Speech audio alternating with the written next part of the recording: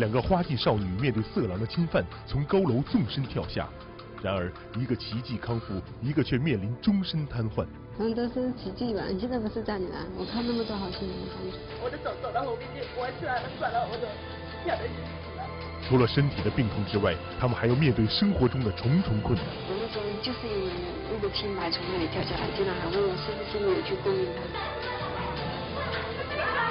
这里面女孩子你这个东西是什么意思？在纵身一跃之后，他们付出怎样的代价？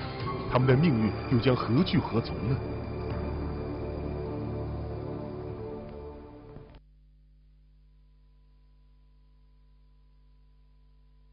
昨天晚上十一点半，经过几个小时的奔波，一辆急救车终于把小雨送进了省立医院。这回，坚强的小雨有救了。小雨的病情牵动着千万人的心。省立医院在门诊大楼举行了救救小雨捐款活动，有很多的患者也悄悄地把钱放进了捐款箱内。上午在省立医院的捐款已达两万三千零七十元。十二月十七号，小雨入住省立医院，各大媒体全面关注，医院尽力救治，好心人捐款源源不断。这个用生命捍卫尊严的勇敢姑娘，终于站起来了。新闻频道记者福州报道。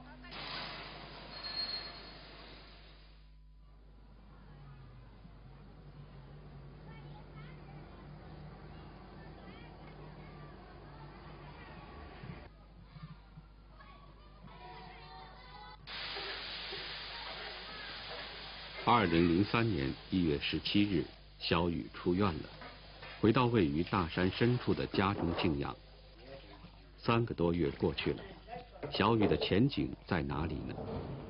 靠着父亲种农田的收入，是无法摆脱贫穷的日子。再次进城打工，那里喧嚣又复杂的环境，又显得那样的恐惧。虽然身体渐渐康复了，但是。留在他心灵上的创伤却一直无法磨平。此时，村里不断传来了流言蜚语。就在小雨为自己的前途担忧的时候，他接到了一个来自省城福州的电话。喂，你是小雨吗？啊，我是当初到医院看过你的那个李冰阿姨，我现在在福州工作。我想叫你到福州来，你自己想来吗？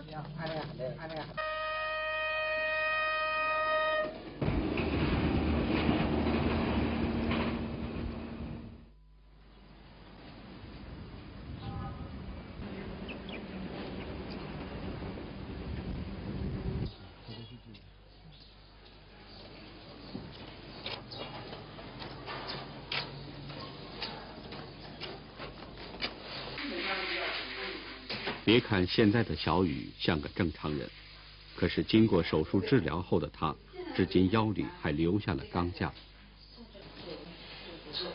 接受小雨的李冰是山东人，早年到了香港，一年前她随丈夫来到福州工作。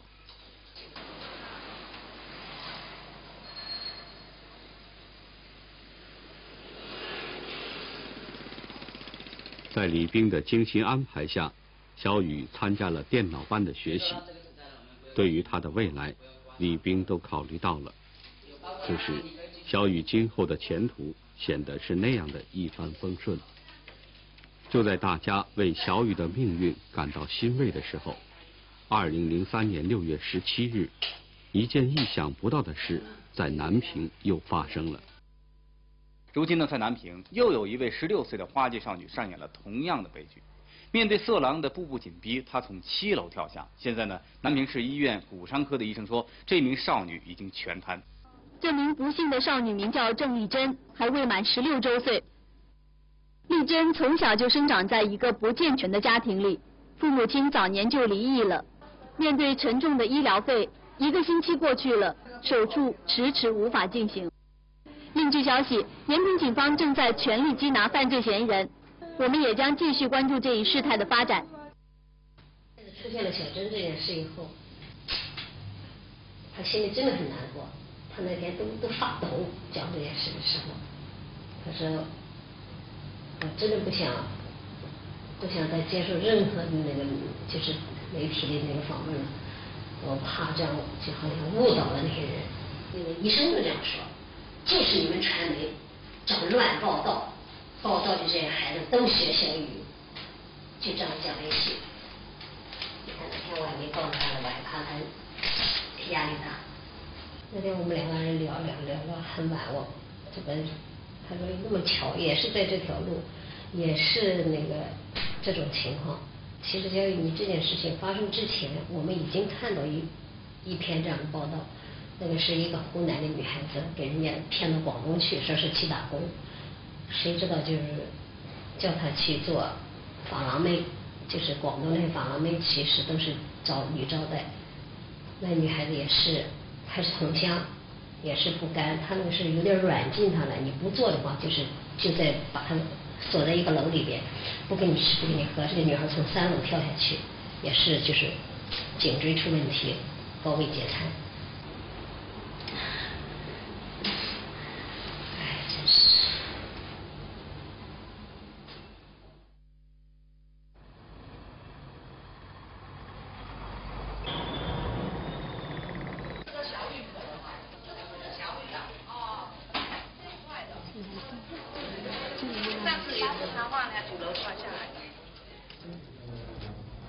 小生，小生，看护的怎么样？看护的怎么样？还会痛吗？和你一样，你应该知道我是谁，我就是上次那个从九楼跳下来那个小雨。去买个布娃娃，陪你。嗯，不认识。啊，这里。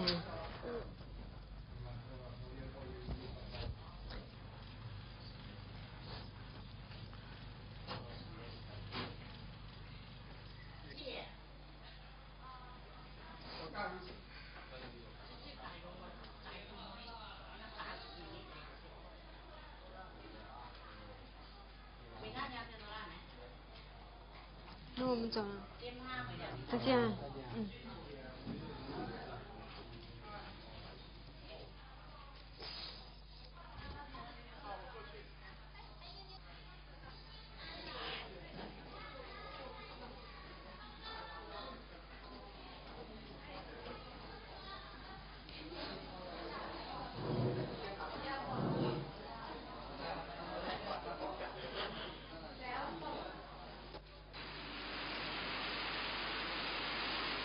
回到福州后，小雨觉得不能长期靠李冰阿姨照顾了，自己也应该到社会上去闯一闯。于是，凭着报纸上的招聘广告，小雨找到了一家推销矿泉水的工作。按照这张地图上，就是跑这一块，按照几张送几张。因为你们在和顾客谈判的时候，每一个让步，你要你要记住。我们先出去好了，我们上去跟他谈一下。要不你打个电话。嗯。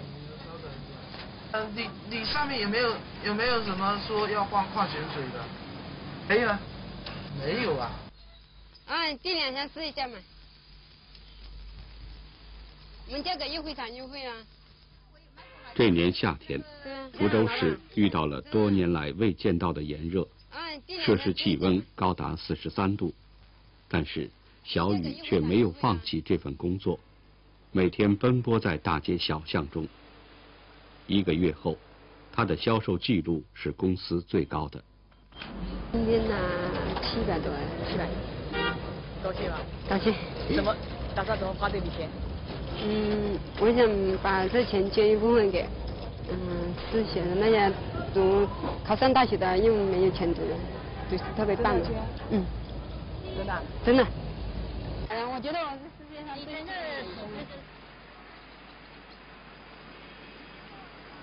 我是小雨，曾经得到你们帮助的小雨。啊，你是小雨啊？嗯。现在都看护了吧？现在干嘛？嗯，我想尽一点我所能嘛，捐一。点点给儿童基金，是吗？哇，行啊，你的爱心回馈社会啊。嗯。这一个，他说一点点心意。哦，行行行，一点点心意就够了。好的好的，行。哎，好的好的。就是最最热的这一个月，孩子就在街上推销矿泉水。很不容易哦。如果他，比方讲现在已经十呃满十八周岁了，他那个如果需要再做手术的时候，严不，他定一下。这这个专项还是他用，还是他用啊？因为立的是他专项，他这个病还没结束嘛，对对，他结束了才没得用。他也说，我希望不用再做手术了，我这个钱我就可以捐给那个儿童救啊，还用这笔钱啊？很有意义。在媒体的介入下，福建医学院附属第一医院派出了最好的医生赶到南平，为小珍免费做了手术。手术后病情虽然有些好转，但是他却面临的也许将是终身瘫痪。就是体操运动员三郎做他这个也是做了这样的手术，但是还是没有恢复。他这个位置比他更高一点。医生说我要坐坐轮椅呀。不要不要不要的不要的。不会的。建州支行的团员青年们给丽珍送来了一份特殊的礼物，他们为丽珍开办了一本储蓄存折。南平新娱乐有限公司的老总专程到医院看望丽珍，给丽珍送来了鲜花、水果和两千元现金，并决定在本周内举办一场募捐晚会，为丽珍筹集住院经费，邀请是捐献爱心，将募捐的经费直接存入丽珍的账户。此外，他们还将在新飞常酒吧门口设立一个募捐箱。不知道是什么原因，一些承诺成了空头支票，社会上有限的捐款很快就用完了。而且还欠下了两万多元。为了能筹集到钱，秋英到处奔走。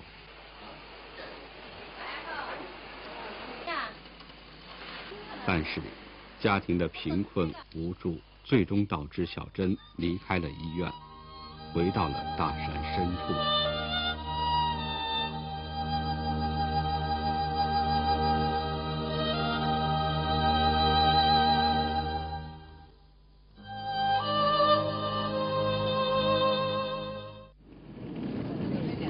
小珍由于交不起住院费，被迫回到大山深处的消息后，李冰带着小雨来到了小珍家。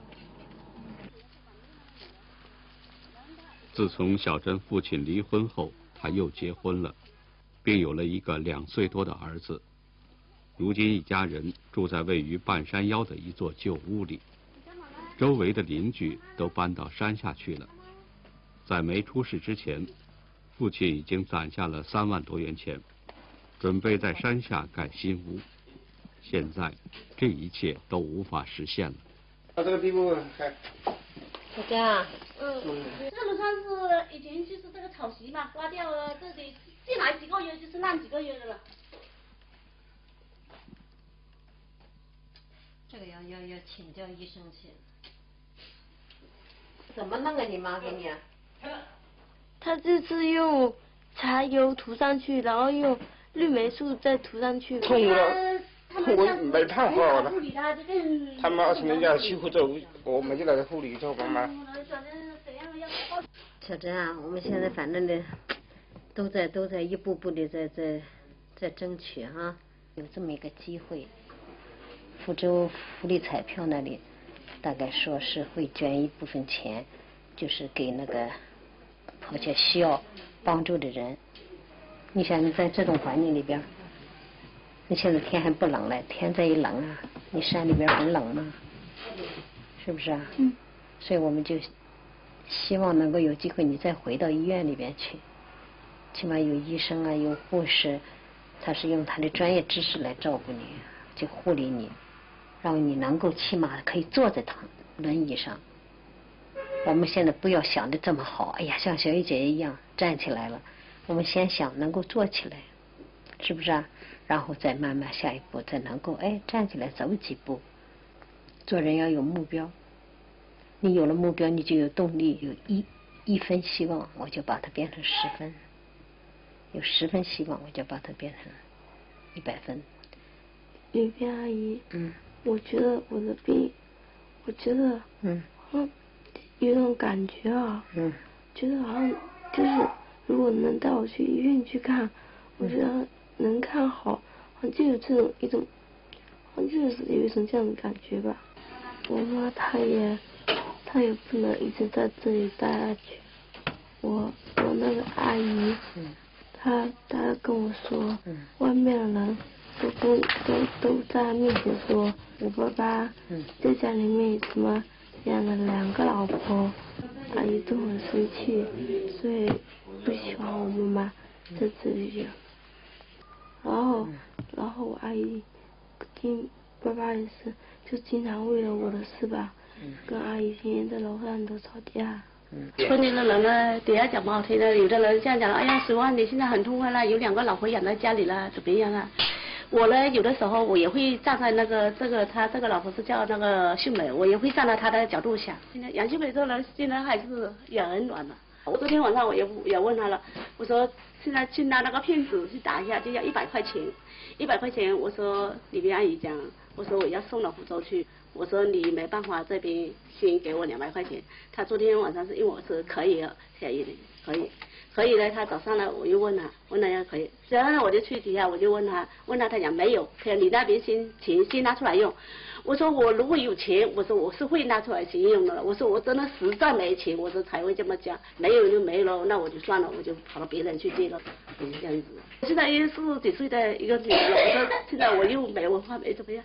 如果真的是是这样子下去，我说钱又借又多，人家都怕你了，都不敢借你了。现在该怎么办呢？我就这样子，我就一直想，有的时候我是想，我讲，我想逃到远远去。逃到远远去就没事了，我也这么想。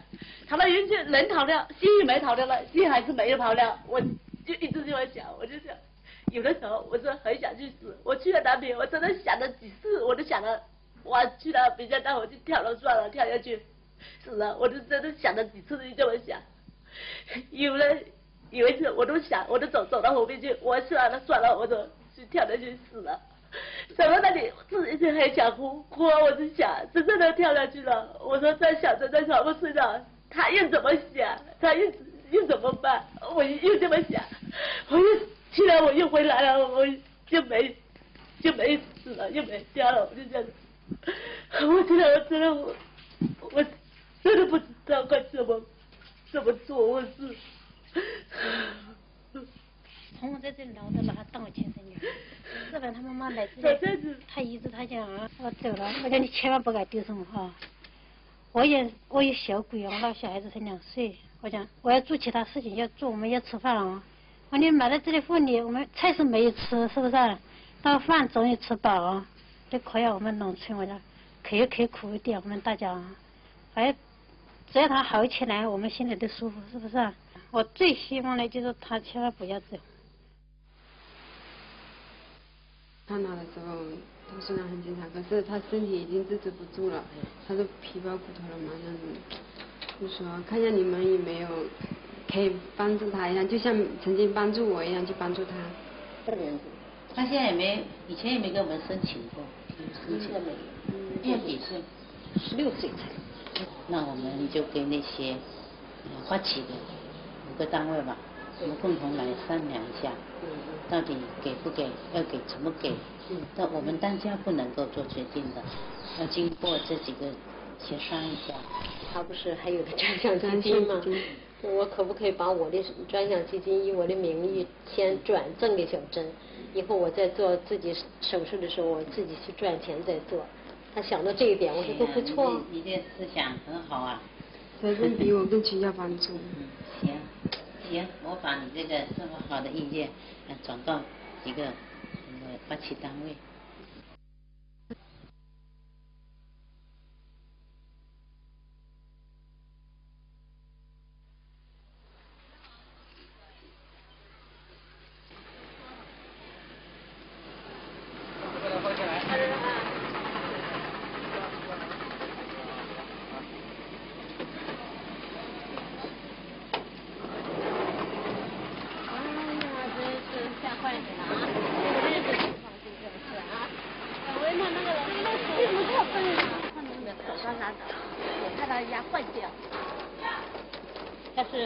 就是 X 光片的，不是那个 CT 是吧？不是不是，就是 X 光片，两张，两张，他拍到是照一张，粘了呃，就这样子睡着照一张嘛，两张。香港有一个嗯，国际不是联合国儿童救救助基金，还有一个红十字会，它这是个国际性的一个组织。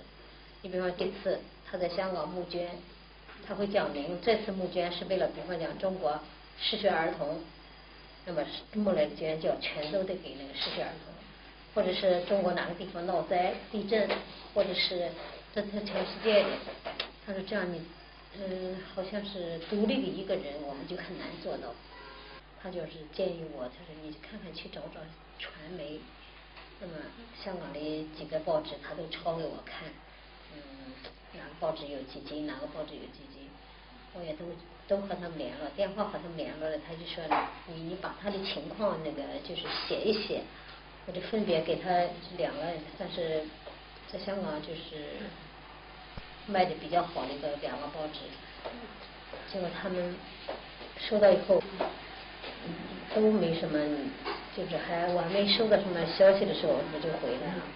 我是考虑到如果。如果就是说别的地方可以帮的小珍，那么小雨那个他不是还准备给小雨做第二次手术的嘛？那么这个钱呢就尽量还是留给小小雨，万一他需要第二次手术的时候。不久前，中央电视台的记者来到福州，专程报道了小雨的事件。正巧今天播出这期节目。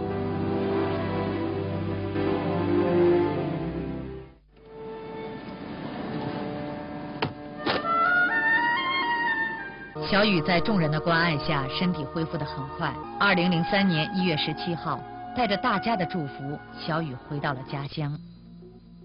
迎面却扑来了让他难以置信的眼神和话语。有些人嘛，起码他说，是不是你勾引他，还是？你知道，在那一刹那间，多么的，虽然我已经好几次已经擦身而过了嘛，我没有事嘛。生命的打击给我真的好大好大，你知道吗？我那时候就是因为我为了清白从那里跳下来，竟然还问我是不是我去勾引他，你知道吗？那句话对我来说真的，嗯，比我被人强暴了，你知道吗？那句话还更那个。好像好像我喘粗气，我知道他是在做梦，时候我就在后边那拍拍他的背，我给他一种安全感。那他就告诉我，哎呀，哎呀，我每次做梦都是，要么好像从楼上掉下来的那种那种感觉，要么就是好像那个人把我压住。我跟阿姨讲的，嗯，就说假如我被强暴了嘛哈，我说我会不会像很多人一样疯了或者学坏了，以后就不做不做正经的事吗？说我，他说我现在。就是这样，以后我也知道生命的重要性，我也后悔当时怎么就是这样的，没考虑到后果的这样跳下来。但是我反过来我也想过，如果我真顺从了那个人，我现在肯定是没脸见人，连我爸妈妈都没脸见人。报道以名为“又一个小雨出现了”的提法，说的是在同样的城市南平。十六岁女孩阿珍同样为抗拒强暴，在同一条街上的七层楼上跳下，造成四肢完全瘫痪。同样因为没钱医治，回到大山里等待。这种滋味这种感受，小雨比任何人都清楚。那等待的是什么？从我进去，就是。这孩子一直是笑的，就是在他脸上看不到绝望，这一点是真的令人鼓舞的。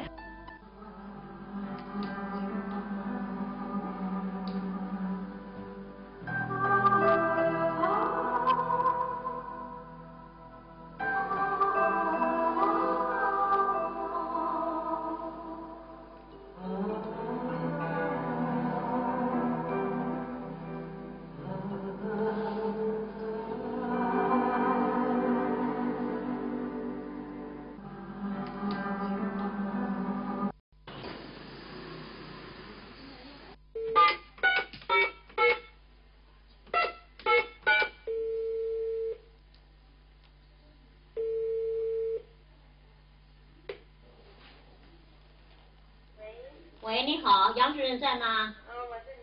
啊，杨主任，我是那个上次跟那个小雨到你们基金去的那个阿姨。嗯。哎，我想请问，因为现在呢，就是呃，这个星期天那个中央电视台那个节目一播出以后呢，就是大家反应挺强烈的。那么正好韩主任就是省立医院那个韩主任，呃，让他回去再做一个什么磁共振手术之后的磁共振，呃，看完这个片子就决定是吧把他接过来。那么现在就是说要落实这这笔那个 呃资金的问题了。对，我们已经跟海都报联系了。嗯。海都报他要召集四五家这个呃这个什么发起单位。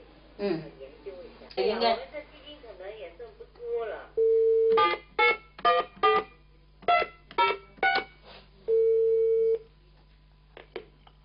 喂，你好，林旭先生在吗？啊。啊，林旭在不在啊？不在。哦。呃，我我有这么一件事情，看看哪个同志能够给那个解决呢？啊，我是帮南平的一个一个伤残女孩子求助。你是伤残的？呃，那个有个女孩子全身瘫痪在家里，我想替她呃那个打电话给你们，能不能帮一帮她？你什么？是你哪里的？呃，南平的。南平，你找南平市产粮，你干嘛找我们市场哦，我现在我是在福州市。但是好像是这孩子在南平曾经求助过几个地方都没人可以帮到他，那我想到省残联能不能？不是啊，你这个南平的南平的残疾人，你必须要找南平市残联，然后我们我们最后也是也也是给你转到南平。哦，也是转到南平去是吧？哦，这样的话我看看再和南平那个残联先联络一下再说，好吧？谢谢你啊。都是残联上的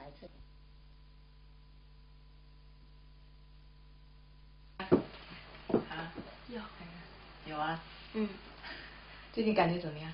最近嗯更好，精神更好。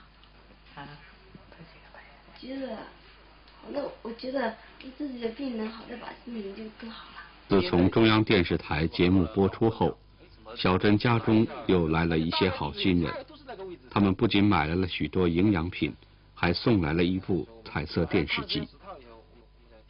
多辛苦一下。走，我们好去哪？谢谢，慢走。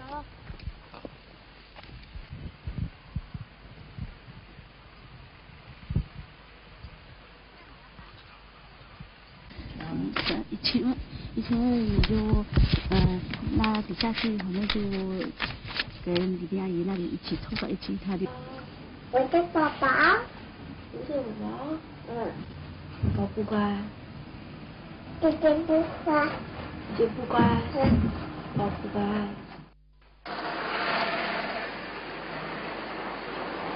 自从小雨离开矿泉水公司后，先后又找了几个工作。由于小雨的腰部受过伤，所以都没有适合他的工种。后来还是在李冰的安排下，小雨干成了美容工作。很快他就上手了，但是工作时间一长。腰就会隐隐作痛。为了慎重起见，在同事的建议下，他专程到福建省军区总院拍了 X 光片。片子出来后得到的结论是，腰中固定钢板的一个螺丝已经断裂了。为此，小雨又来到曾经给他动过手术的医院求诊。因为他这几天老是说疼的他脸色都变了，小雨啊，脸色都变了，别人都看不不不，这个痛不会痛到你脸色就变了，那不会。我给你开个药，你去吃，好吧？你到街上去买，凯富了，凯富了，买吃到这个下个礼拜二。你考虑到你很忙，这阵又为小珍的事来麻烦你，我说你是。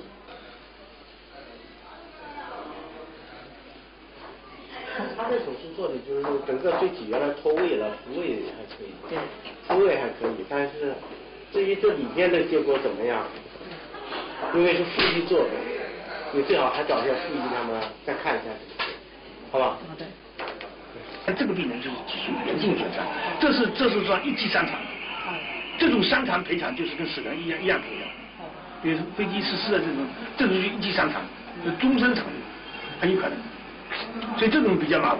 像他这种是啊，真的是他都不做手，他照样好。按螺丝断到断到你头上。我没看片，不预制，像这看片的。再给开一个，开一个片。断定有两个可能，一个就是说你这个当时做了手术完后，骨头没有气长好，里面就靠这个钉子在撑着，这钉子长期撑着会，我们金属会疲劳，会断掉。这没断啊。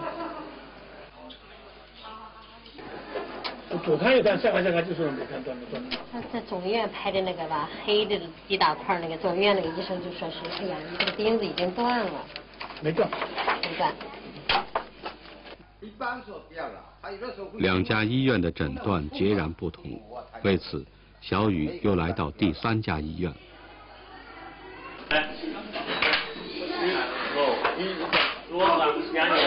这里有一个裂缝。呃，这边有裂缝啊。嗯，这左边的名这里有个裂缝。来看看。很大的。很大裂缝啊。我们这边看不出。虽然两家医院的诊断都认为钢板螺丝没有断，但是原先想动用小雨专项基金帮助小珍的念头却不得不放弃。经过李兵多次奔走。为小珍筹款的计划也全部落空了。我在那，我我看着他往那有地在那坐起来，坐在那里，我就很高兴。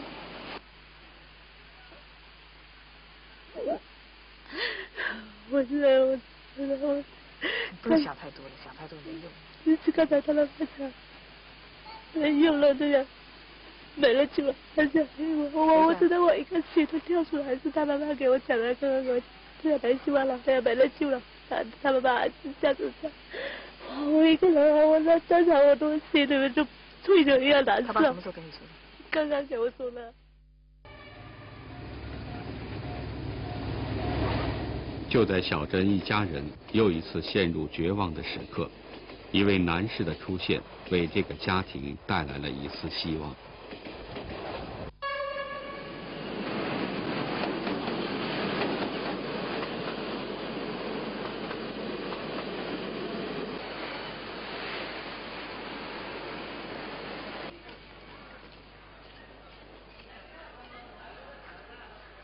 他叫于墨优，早先从上海到加拿大留学，现在已经那里定居。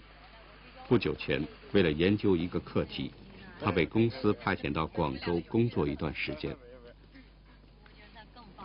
没有没有没有没有，李老师是李老师是领路人，咱们是后面跟着的。嗯，真希望多一点人就可以帮小珍解决这个问题。那天电视看到了，因为我就是找中央电视台才找到呃李老师。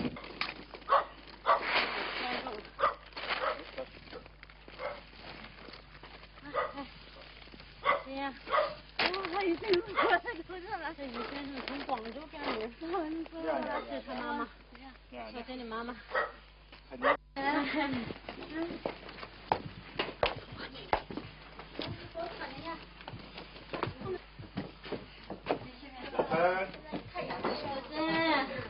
你好，来看看你啊，说你非常漂亮，所以要来看看你哦。小鱼原先在加拿大留学时学过专门的护理工作，所以在这方面有一些经验。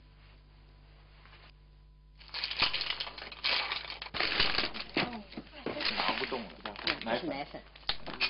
一天的奶，它里边。最好的最好的位置呢是这样子，于是最舒服了，对不对？是不是啊？这样最舒服了吧？原来住医院，后来呢，他们就说呢住医院，是不是啊？每个人一个星期轮到两次，我们可以承受哦，对吧？我们没事的，根本没事，理解你，我们可理解你了。嗯。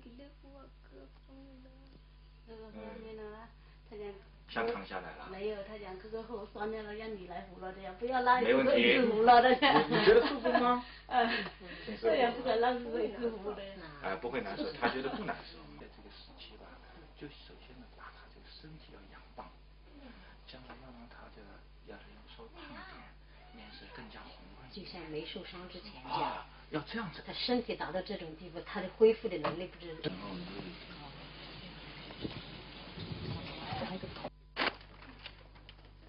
正当大家为小珍梳洗的时候，看见了小珍背上巨大的褥疮。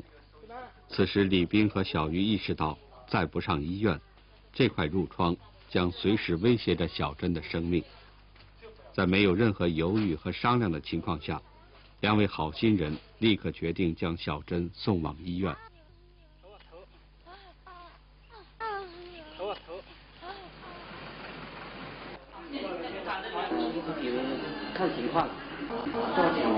根据医生的要求，小珍必须马上开刀，在长褥疮的部位进行植皮手术。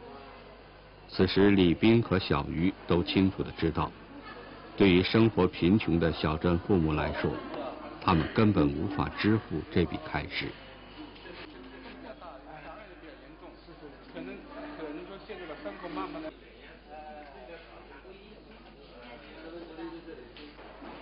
幺二的。什么叫幺二？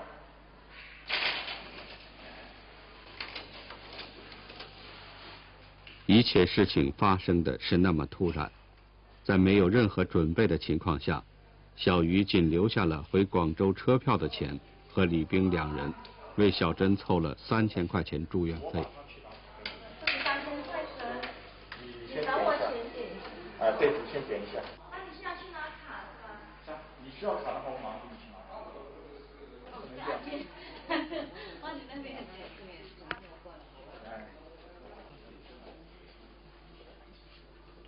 没问题。拜拜，好，好，再见啊，好，再见。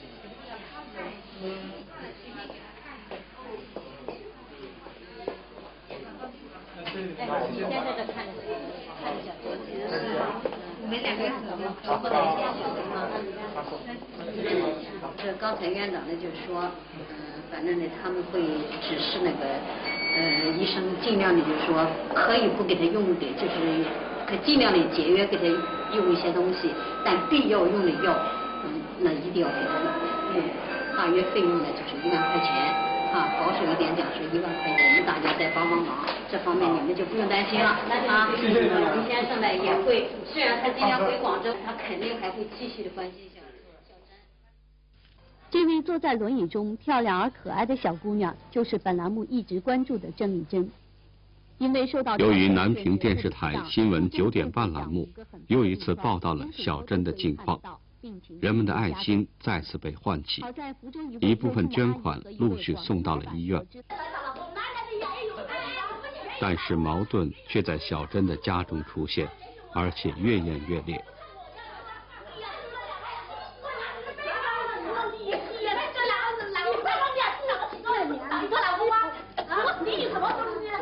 为了帮助小珍解决家中矛盾，小鱼又一次从广州赶到了南平。他说他来，啊，小珍说意思他爸爸告诉他，爸爸这样对你是因为你要问他要生活费哦。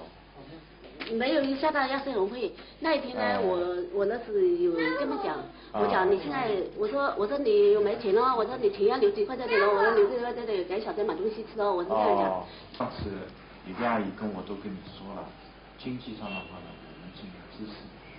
就说是你如果说是这样子要问他爸爸需要钱，他爸爸当然也有家也有辛苦。那么如果这样子的话呢，他不高兴，他来跟你吵跟你闹，对小曾也不好，对你也不好。我我都我都是觉得他不是这个原因，他这个是他的借口。像昨天一样，你两屋子的户口搬去，我们两屋子的户口搬哪里去了？我搬哪里去落脚了？搬哪里去了放了？我都不知道，我真的我户口想起来我就哎。这些事情呢，你就别担心，他说是一回事情，到时候做又是一回事情，他能这样做吗？那就问我，他说，嗯我阿姨会对我会不会坏？嗯他也不会骂我，也不会怎么样，我啊说话也不是不会很坏嘛。啊然后他在我我爸爸和我阿姨他们在我面前都是很好啊。哦，他有叫我们理解，但是你这里也需要照顾啊。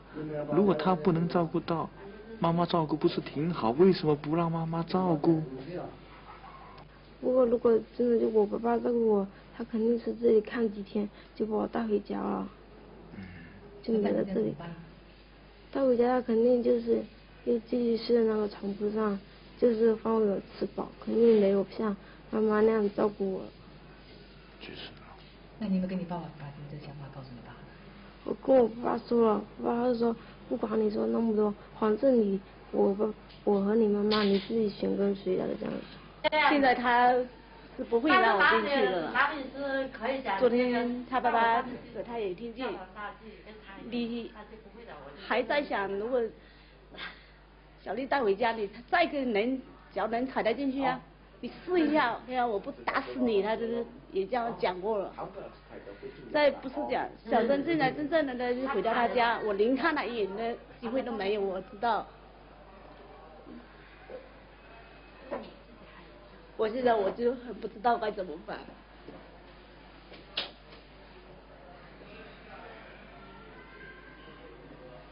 我以前我还是想，小珍珍呢自己的能自理的，手上什么东西可以拿东西吃的，我也想自己去做一点事情，还给他买一点东西给他吃。这他毕竟呢，他爸爸总是有家，住了他爸爸家，我可以买点东西啊，送进去给他吃一下，去看一下，十天八天去看一下。他昨天也讲，不要想了。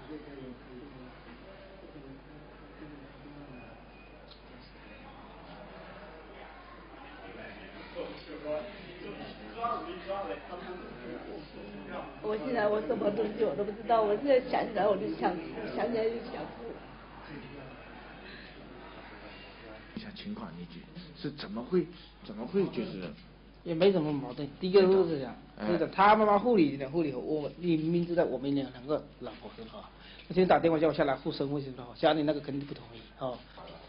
先嘛就是，就昨天就是前天，好像前天可能是一百八十多块，我刚医生就给我讲过，就没办法，我就想带回去算了，没钱我就讲，为什么？都是正当的理由，没钱我怎么敢在医院里面？就是说现在因为你是有抚养权的，所以你的意思就让他妈妈现在别管了，不愿意给他。要要要么是给他，要么给我，要么给你。嗯，就是两句话。如果是给你的话，也就是说，小珍的所有的一切你来处理。嗯，不管他怎么样，以后怎么样都我来处理。若是给他以后好坏，不管怎么样，也是他来承担处理。你的你的我就就这个意思，我的。他他就不管了。意思不管，我作为父亲有有权利来看，没权利管。为什么是这样子？当中他有个当父亲来看是正常的。就有个抚养权属于他吧，不能双方共同所有。为什么？我们毕竟离婚了，我毕竟我家里还有个儿子，对吧？双方共同有意思，我就得两个老婆两个家，这个是决定性不是？那不是，你现在法律上没没有两个老婆，没有两个家，法律上只是一个老婆一个家。农村里面婚婚子这个就偏见在这里有的。对，偏见是偏见，这是法律是法律。法律是。那么你觉得？你觉得？法律说我一个老婆没，为什么我二老婆没拿结婚证？我一个老婆。你家老婆没拿结婚证？二，老婆没拿结婚证，我一个老婆都没，在法律上我婚证是没有，一无所有。那你不能这样说一无所有。那不能我我这个偏见没偏见，我只要离婚了，这是我果断。是。那你现在倾向是归你还是归他？我是随他妈妈考虑都可以。我也没有办法，我也没有这个办法，我也没这个能力。哦。他是没家，他我我我家很维持的，他是无家可归的。因为没拿回来，这个是不可能的。这个抚养权给他不给他，给我这个为什么第一个？肯定是给我，为什么他带到哪去？再商量，好吧？好不好？好好。我先打个电话给李丁阿姨，好吧？啊，现在的情况是这样子的，现在的情况是这样子的。他说听不到，他说听不到，等一下啊，再听。啊，阿姨。啊，是我。啊？我听到了。我我是这样，没有其他的想法，我真的放弃我这个，毕竟他是我身上掉下来的肉，不是想放弃。我现在我不知道该怎么办，真正带出来了，带哪里去了？他就一直叫我带出来，就叫我户口要搬走嘛。我户口搬哪里去了？我不懂得搬哪里去嘛。他就叫我，真正的人是我护理的。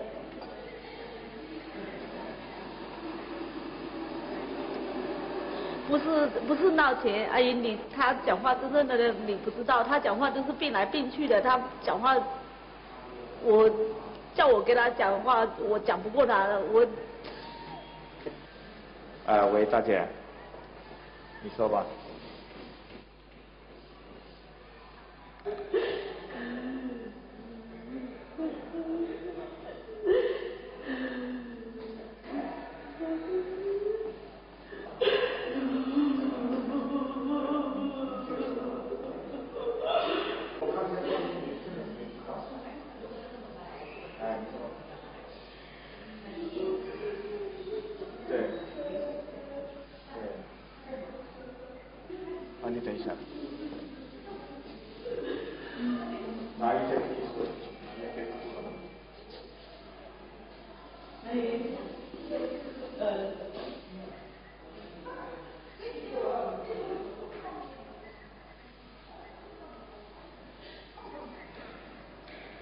呃，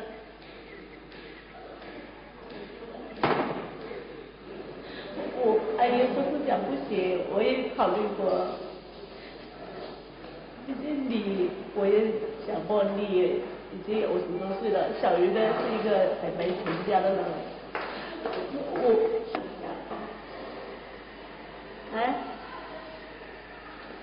啊。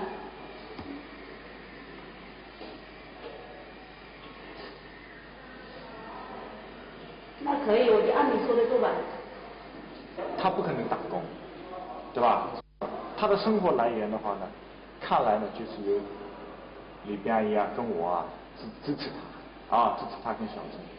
但问题需要你支持的话呢，就是说是你这个户口的问题呢，我觉得你不要。